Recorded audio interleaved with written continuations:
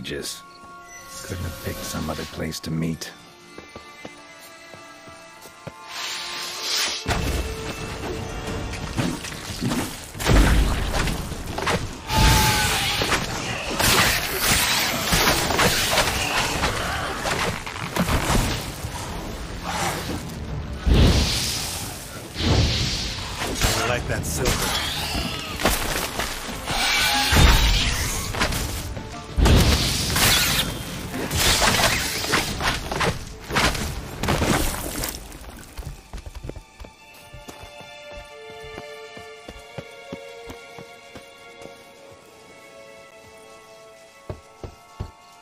Regis! Damn it. Locked. No way I got the place wrong. This is it. Gotta be. Gotta be another way in around here.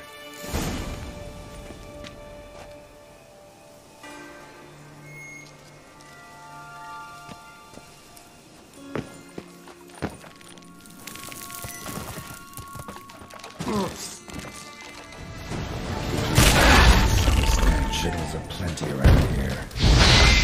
Yeah!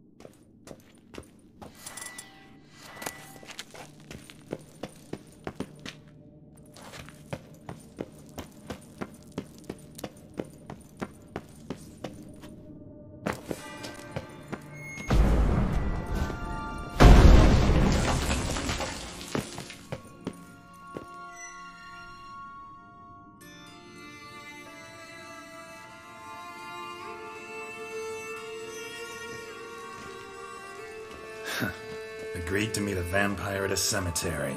How much more cliche can you get? Nothing comes readily to mind. Could have left the door unlatched. What of my privacy? I value it rather deeply. Unmolested, especially by unwanted guests, that's my preferred state. Besides, I knew you'd find a way to get in. True enough. Need to find your friend. I'm hoping you'll agree to help. I shall do whatever's in my power.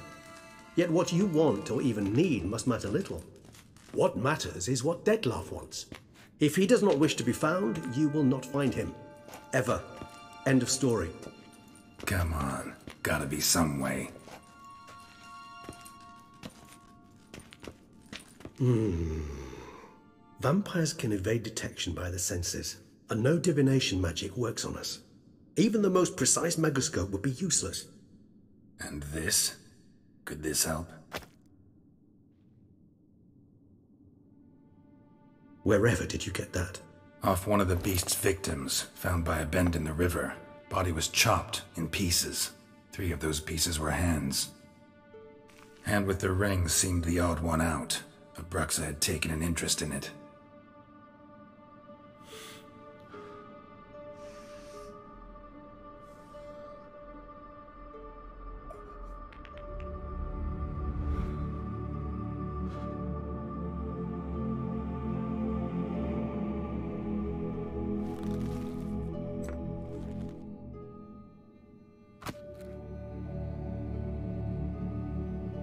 Dettlaff's hand, without a doubt. It will do splendidly. The hand. What do you plan to do with it? You've heard of Kobinares' theory of tissue memory retention. Hmm. Rings a distant bell.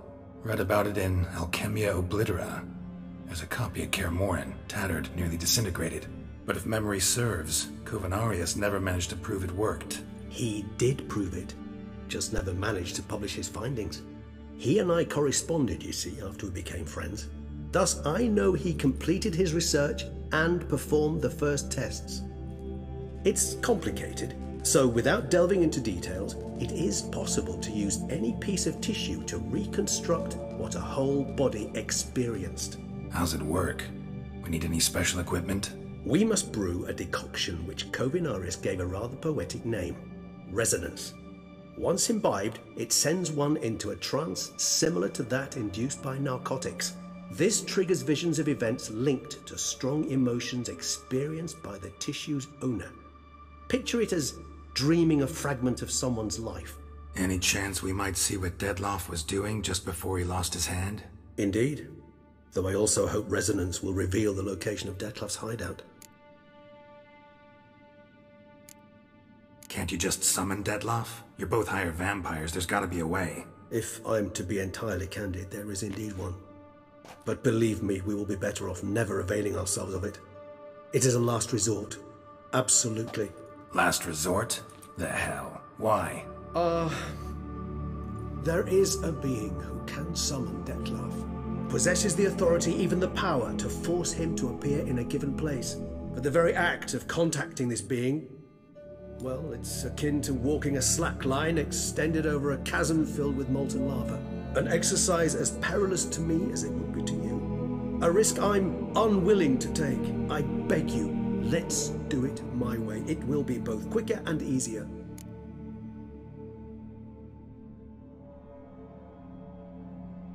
Ring's pretty intriguing. Made of no metal I've ever seen. And the ornamentation. It comes from our home where we lived before the conjunction of spheres. It's actually mine. I received it from a dear old friend. You might call him a humanist. He saw us vampires as guests here, guests who owe their hosts, meaning you humans and the elder races, respect. Respect? Meaning not to treat us like cattle to be slaughtered for food? Precisely. And the reason why I, in turn, gave it to Dettlaff to remind him of the ideals my old friend championed. Kovinaris spent half his life proving his theory. Wild guess. Making a dose of resonance won't be easy. You guessed correctly. In addition to Dettlaff's tissue, we shall need a powerful occipital lobe stimulant. Effectively a poison, to make one susceptible to visions. Hmm. Well, got a few ingredients to choose from. Unfortunately, all are pretty rare. There's Mamoon glands, but closest ones I know of are in Vizima. A spotted wight saliva would also serve, but they were cold to extinction over a century ago. Could go with a kobold's eyes, but the creatures are sentient. Rather not gouge one's eyes out. Hmm. Given that we lack the time to sleuth this out ourselves, permit me to summon some help.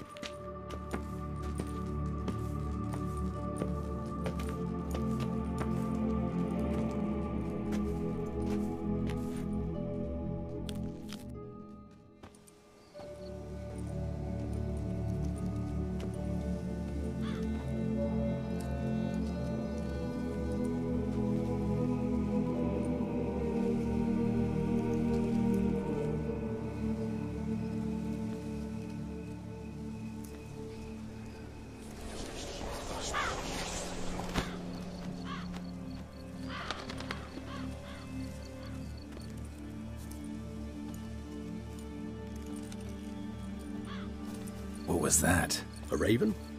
Rather a common sight at this latitude. Very intelligent fowl. I asked him to look for the creatures you mentioned, him and his brethren.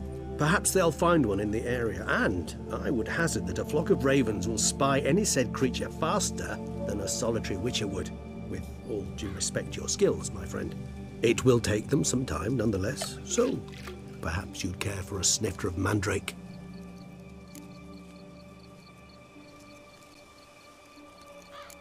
Rarely say no to a snifter. Sadly, this is but a weak infusion rather than a proper distillate. Even better. I remember your mandrake hooch. Made people say things they'd have rather kept to themselves.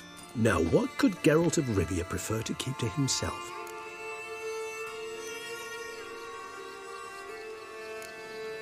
Everyone's got some secret. I agree wholeheartedly. I also believe it wise at times to share one's secrets, unburden oneself to those one can trust. This your sophisticated way of asking me if I trust you? I prefer almost always to ask indirectly. It seems a test of intelligence, one you just passed. Hmm, maybe you should go first. Reveal one of your secrets. After all, you vampires lead very interesting lives. Anything in particular interest you? Always fascinated me the way vampires can regenerate. A hand growing back is one thing, but Dettlaff recreating you out of a wet smear? Something else entirely. A difficult and laborious process, but one that's possible, as my presence proves. But but I've heard you too had quite the adventure. They say you lost your memory. For a bit, but Triss helped me get it back. Actually, pretty damn lucky I only had amnesia. Yes, you humans are rather buggered in those terms. To strip you of life is, well, it's just plain easy. I've always pitied you in that regard. We vampires are much harder nuts to crack. If a member of another race kills one of us, we can be reborn with a living higher vampire's help. However, if one of our own strikes the deadly blow, death is permanent. There can be no rebirth, one of the chief reasons why vampires long ago swore never to fight one another. Got a new life, new body. That give you a new start? Blank slate? Starting all anew is a very broad concept. What exactly do you mean? Your blood addiction, say. Wondering if your body's the same, if it still remembers. Maybe if you drank now, you wouldn't get hooked. All addictions are a form of slavery. Re-addiction's not a risk I'm willing to take, just to test a hypothesis about corporeal regeneration and whether propensities carry over. Fair enough. Curiosity, that's all. Sorry. Not to worry, Geralt. Curiosity's a natural reaction under the circumstances, apart from which I've always valued that trait in you. Gotta ask you the big question. One everyone wonders about. What happens after death? You wish me to tell you if the human belief in the gods is well founded? Well, that I do not know. We vampires differ exceedingly from you humans. Our matter, that of which we are composed, can exist without form. We require neither a heart, nor a brain, nor air to breathe. But were you dead? As humans understand death, yes. Feel anything? Understand anything? Hmm. It's rather hard to explain. I felt something very unsettling. Something I cannot even name, for I did no reasoning.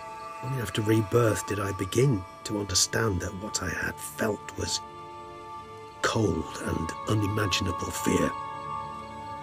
If not for Dettlaff, I might have drowned in an eternity of icy terror. Can't have been alive then. Sheesh, experience like that must be vicious. Mm. Indeed, it's it's hard to compare to anything I know. Yet you are aware we don't see death as you do. The way you cling to life, we find it entirely peculiar. You are mortals, ergo it's a foregone conclusion. You will die. It's but a question of time. Thus, I often find myself wondering why you try so very hard. To die at 20 years, 40, even 100, what's the difference? They're all but the blink of an eye. Depends on your point of view. Man who's got a million crowns to spend can't possibly understand one who's only got 20. Very true. One's outlook can indeed change much. Curious what you did after you were reborn. As I'm sure you can surmise, at first I was thoroughly absorbed with recovering. As it is, I've still not recovered completely. Yet I was so weak the first year that I could not stand nor move on my own. Dettlaff bore my weakness bravely, showed great patience. If not for him, I wouldn't be here, and I'd have regenerated far slower. Once I could at last stand unassisted, I set off for Bruges, for my one time home of Dillingen. There I led the peaceful life of a rural healer and surgeon. enjoying my neighbour's respect and, in fact, constituting the exact opposite of the monstrous vampire the populace imagines. Bruges, you say? Rebirth make you sentimental? Perhaps a dash. But what of you? Where have you been? Ever find your Cirilla? Back then, yeah. But we parted again soon after. And when the time was ripe, she came back, defeated the Wild Hunt together. Ooh. Seemed I certainly missed quite a bit while I was absent. True enough. But it's a conversation we'll have another time. Need to know more about you now.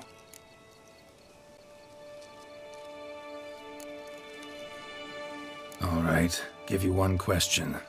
What do you want to know? One question to ask one as fascinating as you, Geralt. Cruel parsimony, I'd say, but I shall do my best to make it count. If you were to die and be reborn as I was, in your new life, would you choose to be a Witcher? That's what interests you most? Whether I'd like to be a Witcher again? Many things interest me, but we've not much time left. Please answer. Never chose to be a Witcher. Fate chose for me. Had it been my choice, I'd have picked a different profession. A profession where I wouldn't have to risk my life every minute of every day. Maybe even one that'd earn me some respect. Thank you for being honest. Honesty is an attribute of the truly brave, and thus a privilege of the very few. Still no sign of your winged friend. Sure it understood what you wanted? Dead certain. Let's wait a bit longer. It'll return soon, don't doubt that for a moment.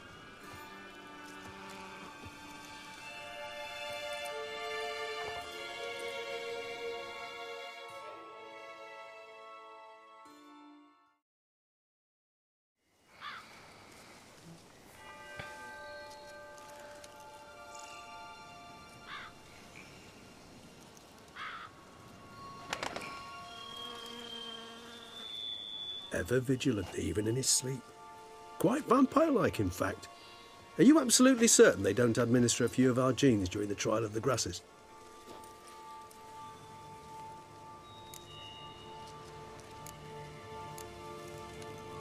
Far as I know, none. Now what you got for me? You were right. No kobolds or mamoons for miles around. Knew it. Allow me to finish. You see, there's this spotted wight. It haunts an abandoned residence in the Caroberta woods. Impossible. My brethren hunted down every last spotted wight before I was born. Then it seems you must revise your knowledge of spotted wights. For somehow this one managed to survive your brethren's onslaught. Hmm. It seems I know this home it haunts. Recall a tale about it. Locals believe the place cursed. Perhaps that's how the wight survived entirely unmolested. Wights rarely appear in the woods, even less likely to find them in abandoned human homes. They inhabit remote wildernesses, old abandoned cemeteries. What's your point? This might not be a spotted wight after all. Your little helper might have made a mistake. I sincerely doubt it. Ravens are devilishly intelligent creatures, and they've highly developed observational skills. What exactly did they observe? The area around the estate, it's covered in spoons. Spoons? Spare me the skeptical smile. I'm but the bearer of this news. Or perhaps this spotted wight is a hoarder, or the spoons are somehow related to the curse. Hmm. Know anything else about this curse? I don't recall much in particular. Really don't attach much importance to such things. It was mentioned to me as an anecdote, no more. Come on, search your memory. Something, anything could be important. Hmm. I believe it had a relation to hunger, or uh, no, um, perhaps greed, rapacity. Someone was punished for something. Textbook definition of a curse, pretty much. Sorry, Geralt. I try not to clutter my mind with the details of every far fetched tale I happen to hear. Hmm. What are your thoughts? A specimen of a species thought long extinct, and a curse in one place. That a coincidence? Or are they related? Ah, professional curiosity. Personally, I've nothing against you delving into this dilemma, but please remember we need the wight's saliva. Nothing beyond that. Let's do this. Start making your decoction while I go get some saliva from that wight. Uses it in its brews. Do you imagine the wight will simply sell you some? For a moment there, I imagined you asking the wight to spit into a vial. Quite amusing as a thought, Uh, but the salivary glands will do fine indeed. So, see you later. Yes, till later. I shall start by perusing some tomes. Tomes? Thought you were gonna make this decoction. We require one last ingredient. Alas, obtaining it could prove a trifle toilsome. Thus, I hope to identify a suitable alternative. All right. Good luck. And to you, my friend.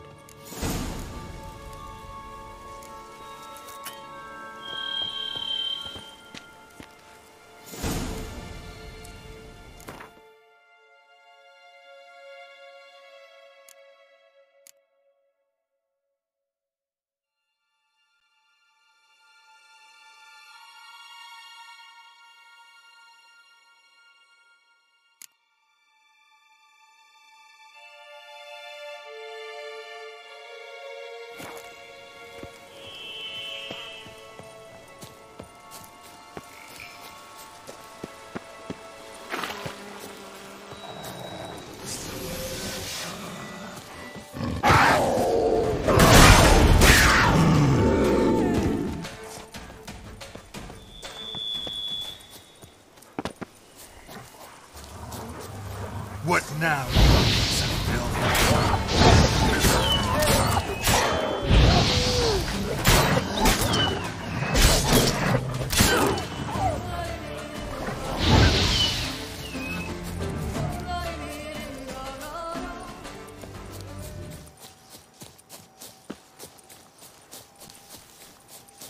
A witcher. We could use one around here, full time.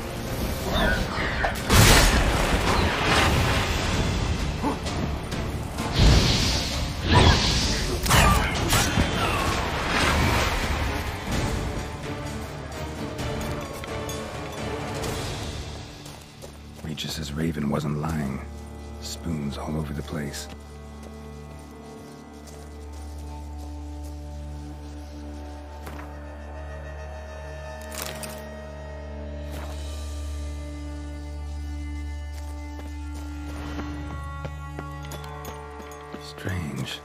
Get a sense that the spoons are beating out some kind of rhythm, a message, trying to tell me something.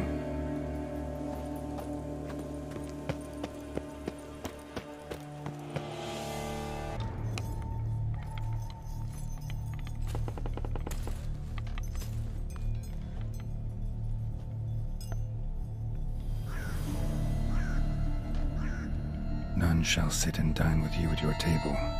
No spoon you have shall say to you, Never again shall you wish to spy your reflection in the mirror. Sounds like a curse, all right.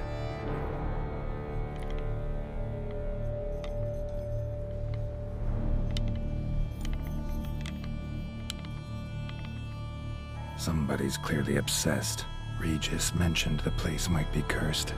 Can't be a coincidence. Need to look around.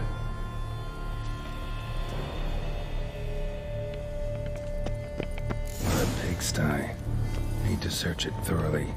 Find a way to collect some wight saliva.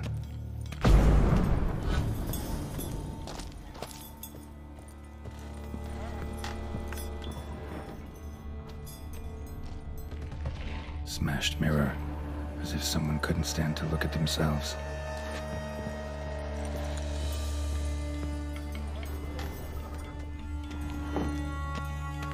No spoon you have shall say to you. Whatever lives here treated that literally. Still searching for the right spoon.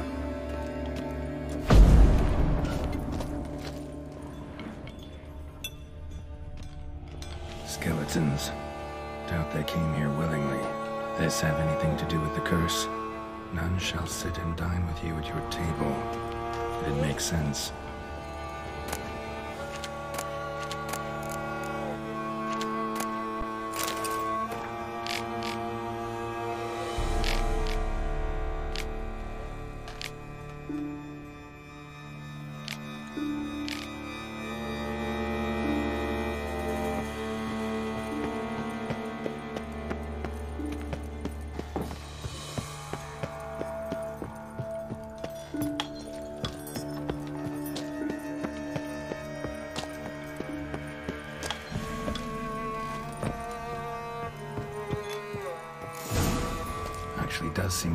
A Bit atypical, but still.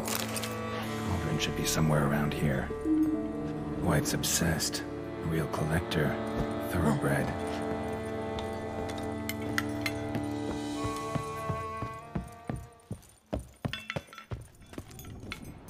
Cauldron I was looking for. Wight's not particularly tidy. Spoon. Pretty ordinary. Maybe a little old. Table set. Wight who lives here is getting ready for some sort of feast. Wight that lives here, definitely afflicted by a curse, and it's been trying desperately to lift it.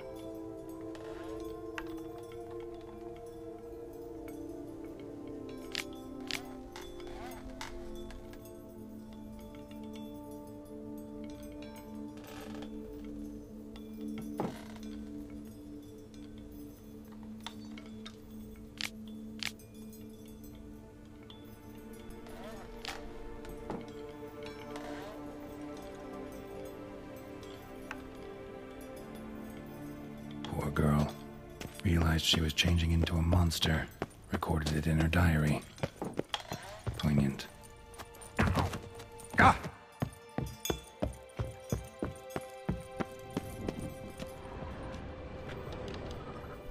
Cauldron's empty, unfortunately.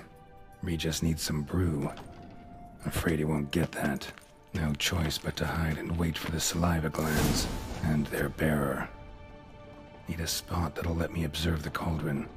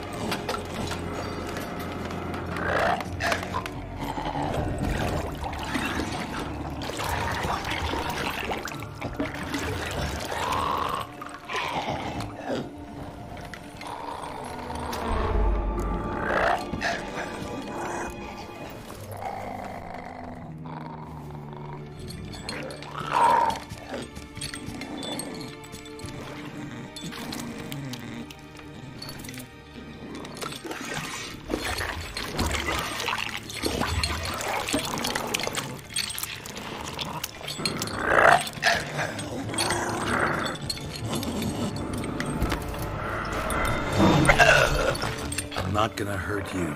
Wanna help? I've seen the words of the curse on the walls. Think I know how to lift it.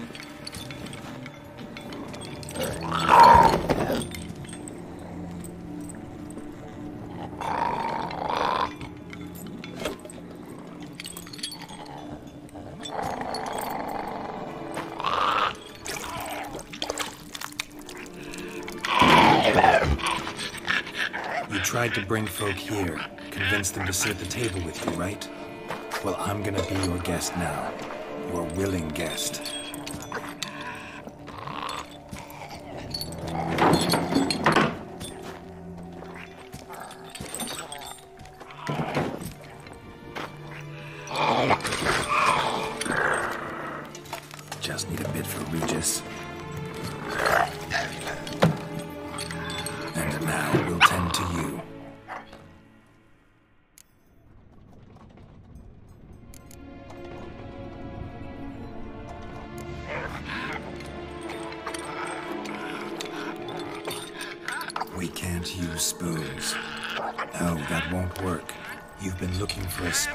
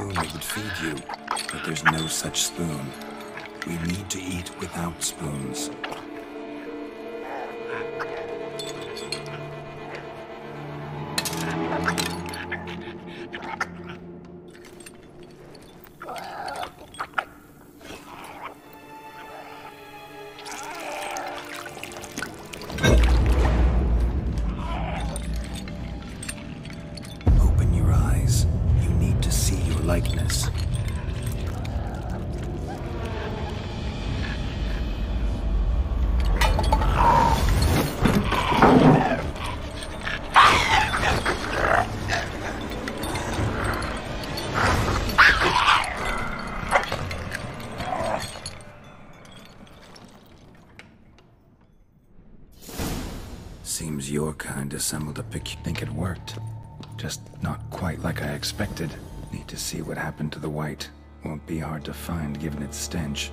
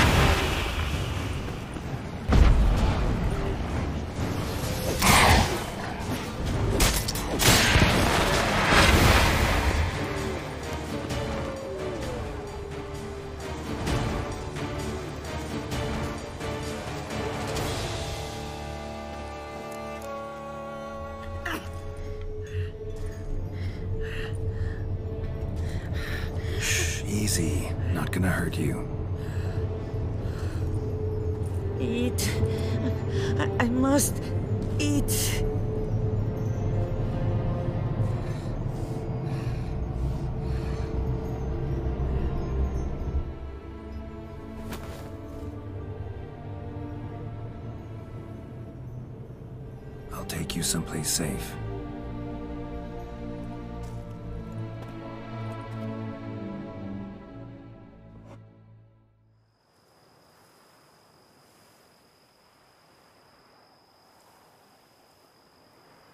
So I took her by the hand and led her here. Seemed the only sensible place for her. You did the right thing, sir.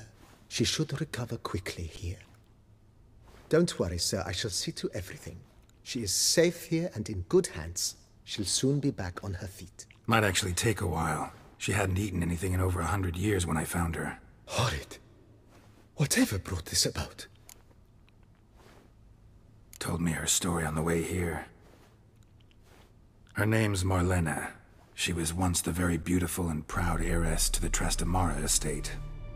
One evening, when she was holding a banquet for friends, a beggar came to her gate seeking alms. He had a bowl and a spoon with him. He sat outside her fence and waited. I've heard of the custom. An ancient rite of hospitality that obliges one to give food and drink to such a guest lest he depart hungry. To neglect the custom is to bring great misfortune down upon oneself. Marlene didn't care a whit for the old customs. She drove the man off, saying she'd rather feed the leftovers from her feast to her dogs than to give the beggar anything. The beggar then broke his spoon, cast a curse. She was beautiful, so he said she'd never wish to look at herself in the mirror again. Since she adored feasts, he swore no one would ever wish to sit and dine with her. And as she even refused him the crumbs from her table, he swore she'd never find a spoon in the world that would sate her hunger. A harsh punishment. I imagine lifting the curse was hardly simple. Curses are tricky. They play on irony. Always gotta figure out what the catch is. Marlene had spent decades looking for a way to lift it. Transformed into a wight, she stole spoons and lured folk into her home, trying each time to get them to dine with her. Didn't work. So what did? Someone had to sit down and share a meal with her, of their own free will. They had to eat without using spoons, and make her look at her reflection. That's it? That was all it required? Simplest solutions are sometimes the last that come to mind. Besides, when you're a wight, it's pretty damn hard to find willing human company for a feast. I imagine so. But most importantly, it is now over. Please, don't worry. She will be in good hands here.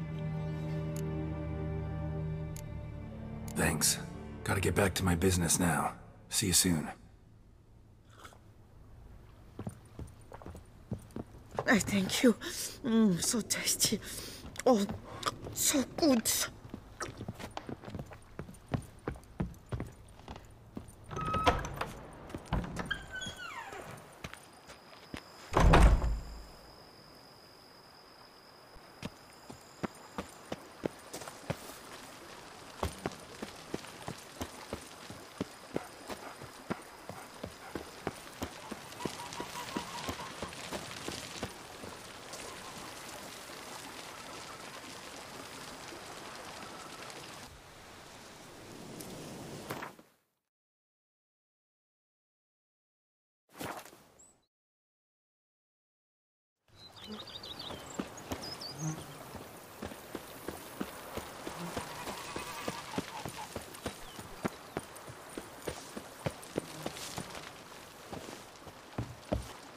I've a daughter, you know. She's fit to wed.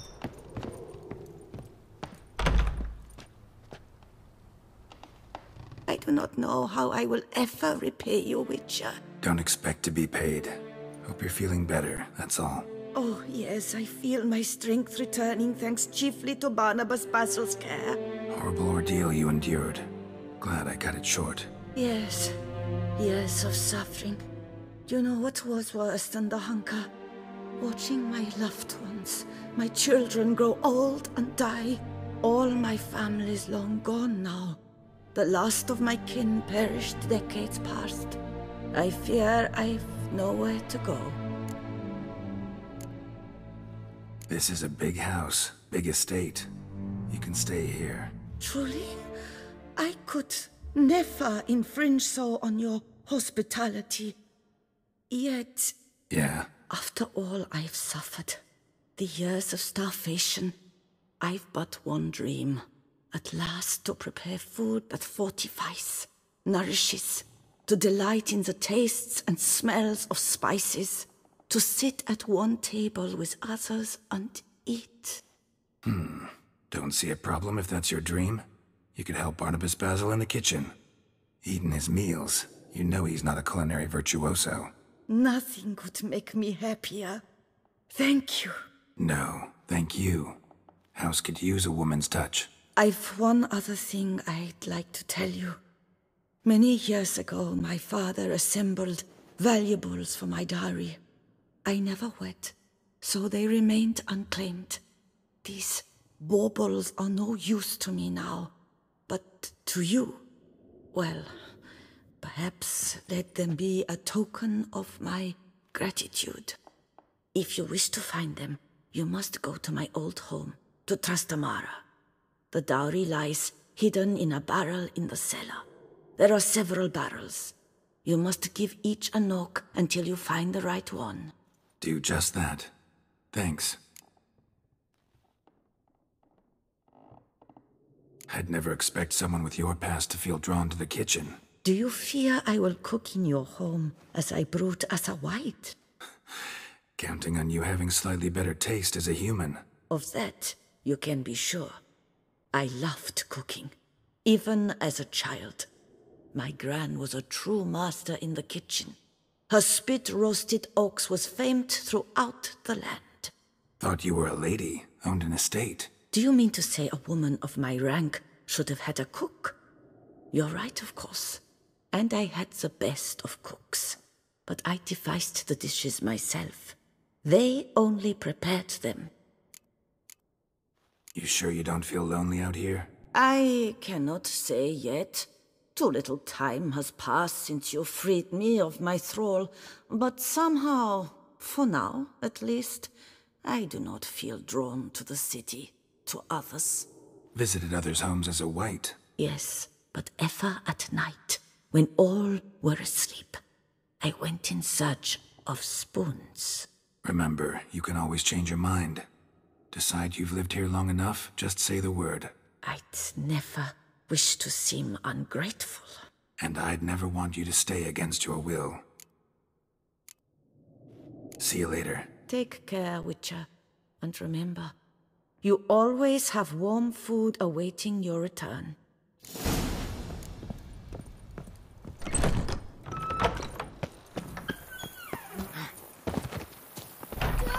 Don't steadily. My If coming my lips ate don't something speak of fierce. wine, my wife won't know them.